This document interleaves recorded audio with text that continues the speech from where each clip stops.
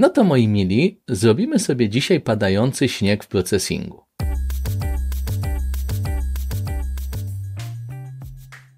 Chociaż dzisiaj pierwszy dzień już zimy, to wciąż widzę za oknem listopad. Będzie jeszcze gorszy listopad niż niedawno, bo zrobił się straszna plucha, straszny deszcz pada. Znaczy, no straszny jak straszny, ale taki listopadowy, nie ma białego śniegu. A ja sobie marzę o białych świętach, więc zaprogramowałem już w Scratchu, zaprogramowałem już w Greenfoocie. No to teraz zaprogramuję jeszcze w procesingu padający śnieg, żeby może w ten sposób troszeczkę zaczarować tę zimę, poprosić ją, żeby przyszła. No i teraz tak, moi drodzy, w procesingu będę potrzebował obrazek i ten obrazek wam tam na dole podlinkuję, dlatego że to jest przeze mnie specjalnie przygotowany obrazek, który no, pasuje do, do całości tego, co robimy. No i teraz tak, najpierw zanim obrazek, to oczywiście standardowo void setup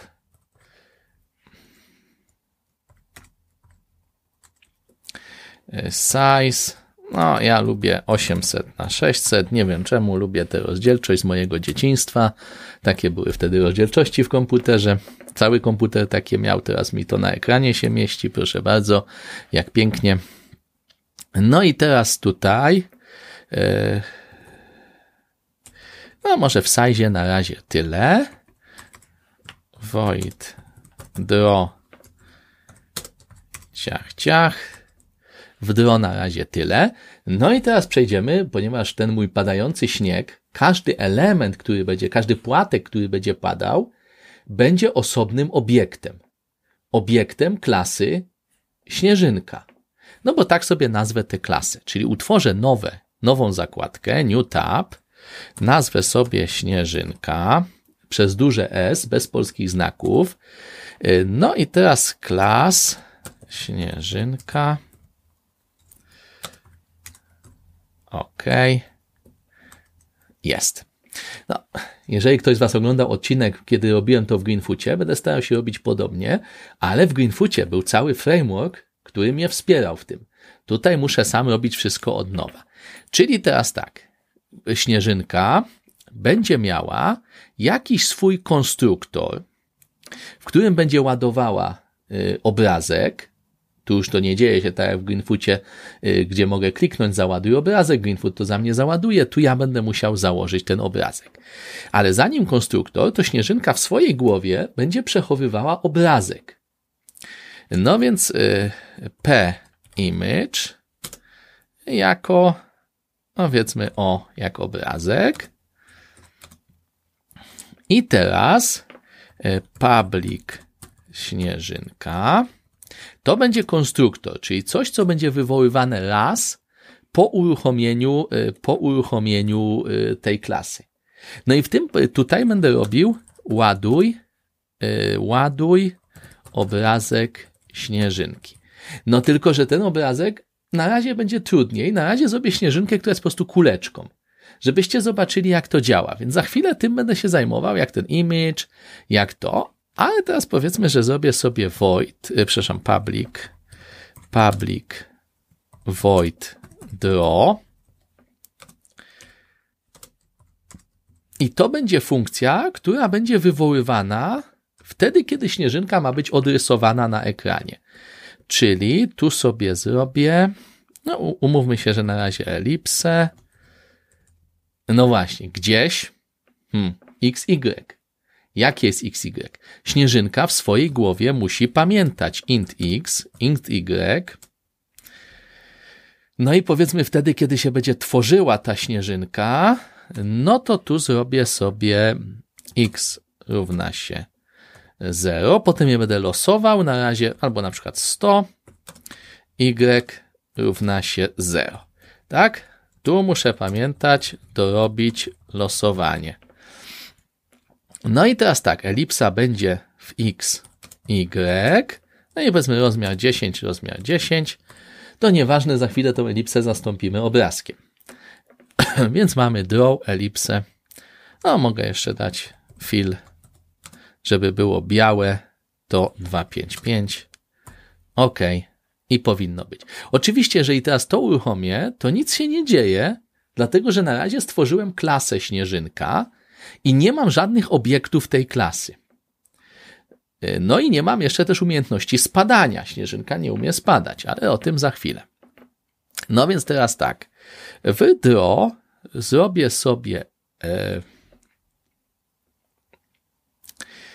albo jeszcze przed draw zrobię sobie e, coś takiego jak tablicę śnieżynek albo na razie jedną śnieżynkę, żeby wam nie, nie psuć e, wizji. Śnieżynka S to się równa new śnieżynka. OK. No i teraz w duo robię S, kropka. No i nawet mi tu pięknie podpowiada, bo mam włączone podpowiadanie w processingu. Jeżeli nie macie włączonego podpowiadania, to, e, to tutaj w ustawieniach można też zaznaczyć, żeby podpowiadał z Control Spacja. No i teraz mi pięknie też zresztą podpowiada z tej klasy Control Spacja, mogę wcisnąć i, i teraz chciałbym wywołać draw. Czyli teraz mój obiekt, tu utworzyłem, wcześniej utworzyłem klasę, czyli wzór, z którego powstają następne obiekty. Tutaj utworzyłem jeden obiekt S, klasy śnieżynka, no i ja w funkcji draw, którą processing wywołuje w kółko, ja mówię śnieżynko draw. Gdy będą dwie śnieżynki, to będę robił dwie draw. No i spróbujmy, co się dzieje. O, u góry mi się ta śnieżynka już pojawiła tutaj. No ale to jest niewystarczające. Chciałbym, żeby spadała, czyli dorobię public void down tak. I down będzie oznaczało po prostu y. y, y plus plus. Mhm.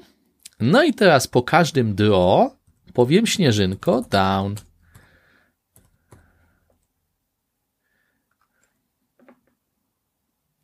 No i pięknie mi leci w dół. E, rysuję ślad, dlatego że muszę tu oczywiście w draw back go und no powiedzmy 200, żeby był taki sam szary jak to okienko na razie. Mniej więcej podobny powinien być. O, i spada sobie moja śnieżynka w dół. No i teraz tak. Chciałbym mieć więcej tych śnieżynek. No to mogę sobie zrobić jeszcze śnieżynkę S2. No i tutaj oczywiście kopiuj wklej S, S2. No ale nie jest to dobry pomysł. Oczywiście będzie działać na dwóch śnieżynek, tylko że one są razem. Miałem dorobić losowanie, więc tu szybko dorobię losowanie, że to jest random od 0 do widtychy with już nie mam dorobić. E, ponieważ x jest intem, no to muszę to rzucować na inta. No i teraz mam dwie w tym miejscu, teraz mam dwie w innym miejscu, teraz mam dwie, akurat się wylosowały razem. Ok, tylko czemu cały czas z boku mi się losują? Aha, już wiem, czemu się losują cały czas z boku. To jest, ale to jest na chwilę, za chwilę to wyjaśnię. No i mam te śnieżynki, które sobie gdzieś tam poleciały poza ekran, one się nie zatrzymują w processingu, no bo dlaczego miałyby się zatrzymywać? Zwiększam Y, no to się przestają mieścić na okienku. No i teraz tak, dlaczego jest takie wąskie po pierwsze? Dlatego, że to jest wykonywane zanim się zrobi jeszcze setup. Więc zanim się ustawi 800 na 600, a domyślnie processing ma takie bardzo malutkie okienko. O, i one cały czas się mieszczą w tym malutkim okienku. Więc jeżeli ja posze poszerzam size'em okienko, a wcześniej już zrobiłem śnieżynki, no to to nie działa, tak? Musiałbym to inaczej zrobić, ale i tak nie chcę tego robić w ten sposób. Dlatego, że i tak nie chcę tego robić y, tak, żeby było mm, y, ręcznie ustalone, ile tych śnieżynek jest. Chcę, żeby one się tworzyły. I teraz tu mi będzie potrzebne coś takiego jak lista. Tak? I lista to jest takie coś, do czego będę mógł dodawać sobie jakieś elementy. W związku z tym tego tu nie chcę. No i tego tu nie chcę. No więc teraz poszukałem sobie w opisie do processinga czegoś, co się nazywa ArrayList i to jest taka jakby tablica, która się naciąga, taka lista, do której mogę dodawać nowe śnieżynki, usuwać. No i żeby ją stworzyć, tylko że tutaj nie particle, tylko śnieżynka, no tu mogę sobie zrobić S, no i tu śnieżynka. Tak, poszerzę to, bo jest tutaj taka dłuższa linijka. I teraz to mi utworzyło nową listę. I ta nowa lista, jak ona działa? Na razie jest pusta. Czyli na początku e, chciałbym sobie zrobić, że s add, no i właśnie, jak sobie wywołamy add, to musimy poczytać teraz, jak działa ta funkcja, ponieważ przyjmuje dwie rzeczy, int i object. No więc idę do processinga i muszę sobie array list. Aha, można pominąć ten int, czyli tu jest po prostu dodaj nową śnieżynkę, tak? Więc y, robię sobie s, add i teraz tu byłoby jakieś s, które dodajemy. I mogę albo tu wpisać new śnieżynka, no albo mógłbym utworzyć jeszcze wcześniej zmienną S i ją tutaj wstawić. Jak wam się lepiej będzie, znaczy, aha, już nie S, tylko musiało być jakieś tam S robocze, bo S to już są te moje śnieżynki. Tak, no więc może, albo możemy sobie SS jako, pod, jako wiele śnieżynek, a małe S jako śnieżynka. S to się równa new śnieżynka. No i teraz mógłbym tutaj zamiast tego wpisać S. Oczywiście obydwa zapisy są równoważne.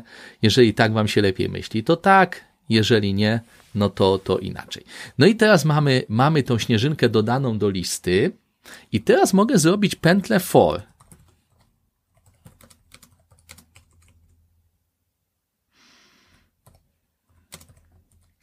Ile? Tyle, ile jest śnieżynek, czyli SS muszę znaleźć funkcję, która mi mówi, ile jest elementów. Chyba size będzie. Spróbujemy. SS size, czyli wtedy ustalam, kiedy o i plus plus. Tak. Mhm. I traktuję to tak jak tablicę, jak zwykłą tablicę, czyli SS od i kropka. Nie.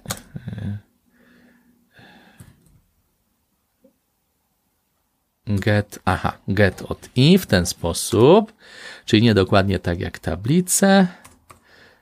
No i potem draw.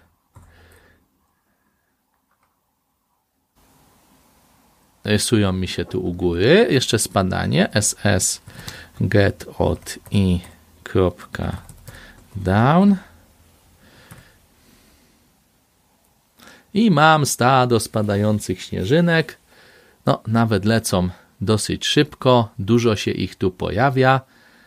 No i nie będą mi znikać, czy znikają, bo akurat w procesingu wypadają poza ekran, ale każda z tych y, śnieżynek zajmuje ciągle pamięć. Widać, że to spowalnia. Ja już to zatrzymam, bo mi zaraz zablokuje komputer. Każda z tych śnieżynek zajmuje miejsce w pamięci i to, że ona wypadła poza ekran, to nie znaczy, że nie ma jej w pamięci. Ta lista rośnie. Tak? Musielibyśmy z tej listy usuwać te śnieżynki, które są już, yy, no, które są już poza ekranem. No i tak się zastanawiam, jak to zrobić najwygodniej. Ok, już wiem. Otóż zrobię sobie pętlę, tylko że ta pętla będzie odliczała od końca, dlatego że jak będę usuwał element z listy, to ona będzie mi się skracać. W związku z tym mogę iść od końca i usuwać. Jak będę szedł od początku, na przykład powiedzmy pierwsza śnieżynka będzie do usunięcia, to jak ją usunę, to druga skoczy jako pierwsza i przez to mi się zaburzy pętla. Ale jeżeli pętlę zrobię sobie od rozmiaru, minus 1 do zera i minus minus, to teraz mogę sobie zrobić if if ss get i oczywiście tak. Get i kropka y jest większe od widytych od, od hejt hej od wysokości, jeżeli tu jest, no nie powinno się w ten sposób odwoływać bezpośrednio do składowych klasy, te y powinno być ukryte, powinna być tu funkcja getter, setter, ale to na, na, razie, na razie chcę to jak najprościej, więc tak, no to jeżeli ten element jest większy, no to muszę z mojego SS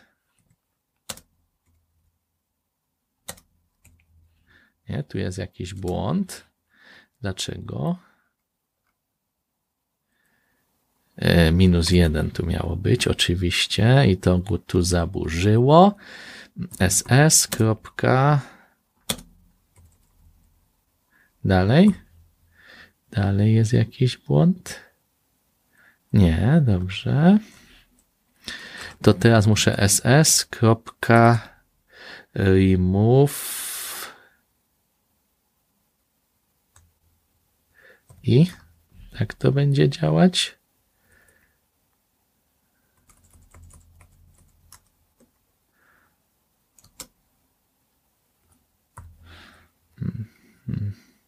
Tylko spróbujemy, jak większe od 100, czy będą znikać.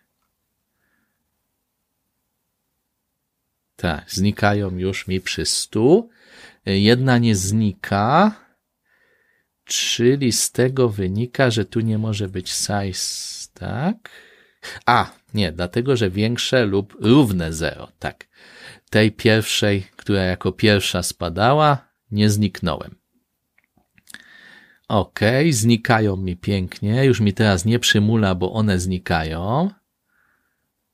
No to teraz mogę sobie ustawić tutaj już Ok, no mogę dać minus 10, żeby było widać, że znikają znikają gdzieś tam nie na samej, nie za ekranem, tylko prawie blisko dna, żeby to było widać, że to tutaj znika. O, widać, że znikają tam, nie, nie, nie chowają się, tylko znikają na 10 pikseli przed, przed ekranem. No i w ten sposób, troszeczkę z pewnymi tutaj zawiasami, dlatego że dawno już tych list nie robiłem, nie programowałem i nie wszystko pamiętałem. No tak, tak jak mówiłem, nie wolno się tutaj, od, nie powinno się odwoływać do x, y. Te składowe tu powinny być składowe private. E, czyli powinny być niedostępne, niedostępne spoza Y, tylko to, co jest public, jest dostępne spoza klasy. Więc x, y nie powinno być dostępne, no i teraz już mi się to nie skompiluje, bo to już jest private. No, skompilowało się, a to dziwne. Nie powinno już y.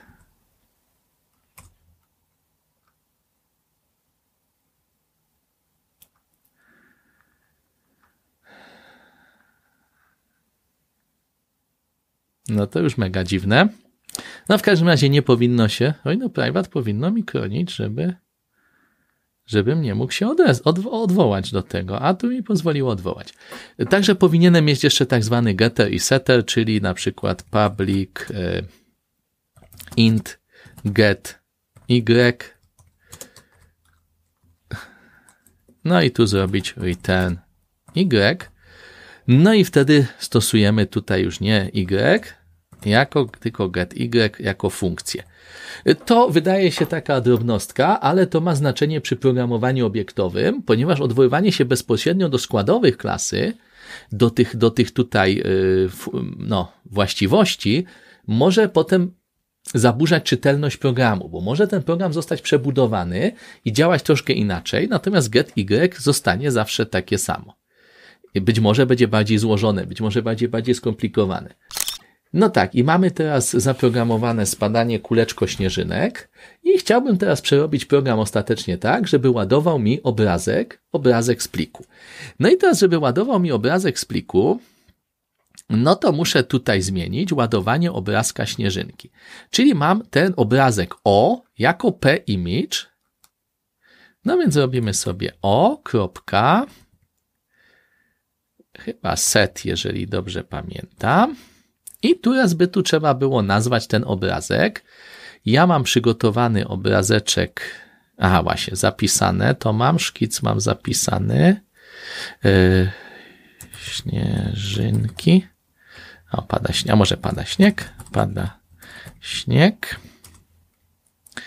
Dobra, zapisałem tutaj śnieżynka i pada śnieg. I będę chciał e, w pobranych mam tutaj fall. Mam tutaj to. No i nazwie to po prostu samo fall PNG, żeby nie skomplikować. Jest ta śnieżynka tutaj, którą będę chciał użyć, którą Wam tam podlinkuję też pod filmem. Więc y, teraz tu mamy y, fall.png i nie, to nie będzie set, tu będzie load image. E, load o, lo, nie? P-image. E, dobrze, zajrzyjmy do dokumentacji. Aha, w ten sposób. Czyli tak, obrazek równa się load image. OK. No tak, bo on jeszcze nie istnieje. Tak, ja chciałem się odwoływać jako do metody obiektu, a on jeszcze nie istnieje. Czyli load image, tak, jest. No i teraz ten obrazek mogę sobie już teraz obsługiwać, czyli mogę zrobić mhm, zamiast elipsy, tak, to już wywalam. Robię sobie teraz image o i teraz X, Y w ten sposób. Tadam. No, spadają śnieżynki, tylko że są bardzo duże, więc jeszcze będę musiał poszukać, jak skalować image, czyli po załadowaniu tego dużego obrazka zrobię sobie o jest tu coś takiego jak scale albo rescale. O, resize. Resize powiedzmy do 50 na 50. OK.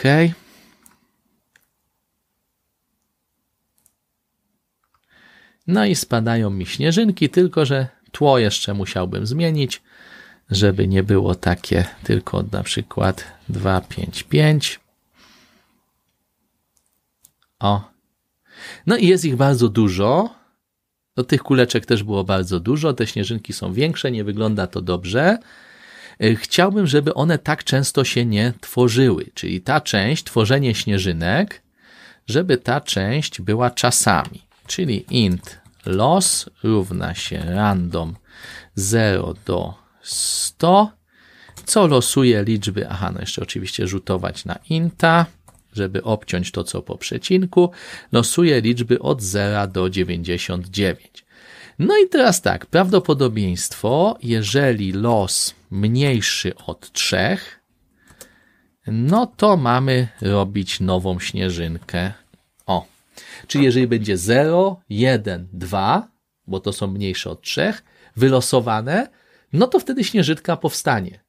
Natomiast jeżeli nie, jeżeli będzie więcej, no to nie powstanie. Czyli mamy prawdopodobieństwo 3%, bo mamy 3 możliwości ze 100 możliwości. O, i już padają nam rzadziej. No, trzeba by się zastanowić jeszcze nad tym, żeby jakieś tło wrzucić. Ja też tu mam przygotowane takie tło. O, piękne, zimowe, pasuje idealnie, więc to sobie skopiuję. Skopiuję sobie to do processing. Pada śnieg. A, nazwę to tło PNG, e, JPG tu jest. OK.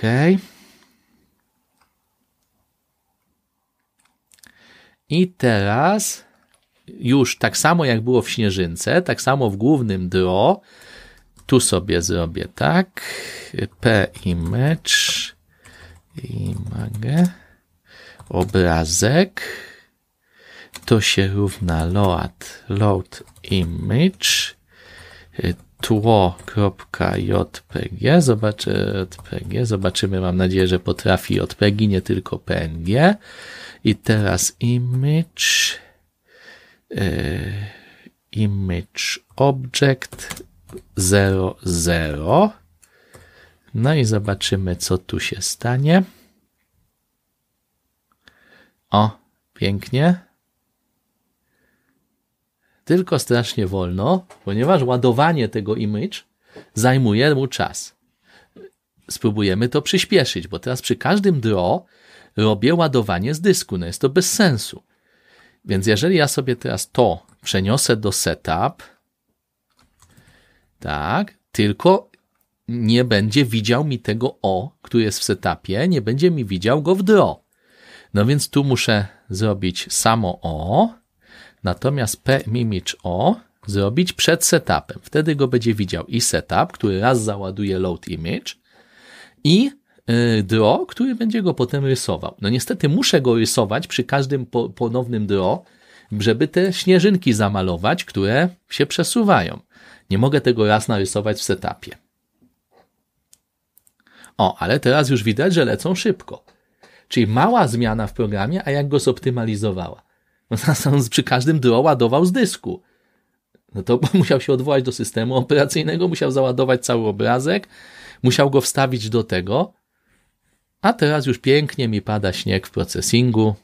Proszę bardzo. Hm. Można sobie w processingu ostatnio wykryłem nawet puścić na cały ekran. No, to prawda 800 na 600, więc reszta jest szara, ale mam pięknie w ten sposób padający śnieg.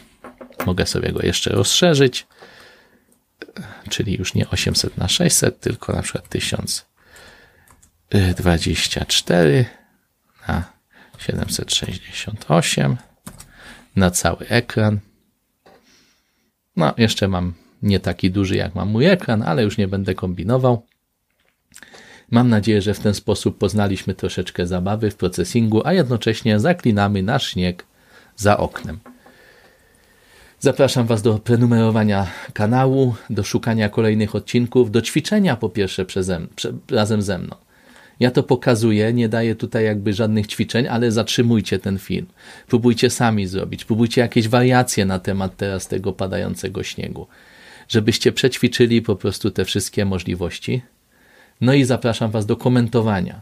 Piszcie w komentarzach, co o tym sądzicie, co chcielibyście, żebym następne nagrał. Do zobaczenia, cześć i pa.